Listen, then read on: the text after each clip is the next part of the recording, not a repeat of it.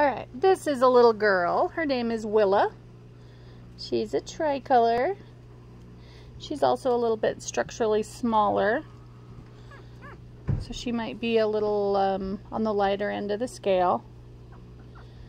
She's really cute. She's got some white toes going on. White back there. Hey, give me that footy. White on that toe. That's her tail. She's got a little white on her tail. And I'm pretty sure the other footy has white too. It does. Little lady.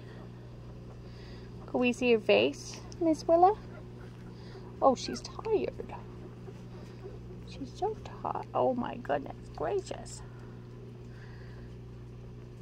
Hmm. She's so cute. She's adorable. Huh, little lady. She's got the white down her, down her chest. I know, you want to just go down there with your mama and go back to sleep.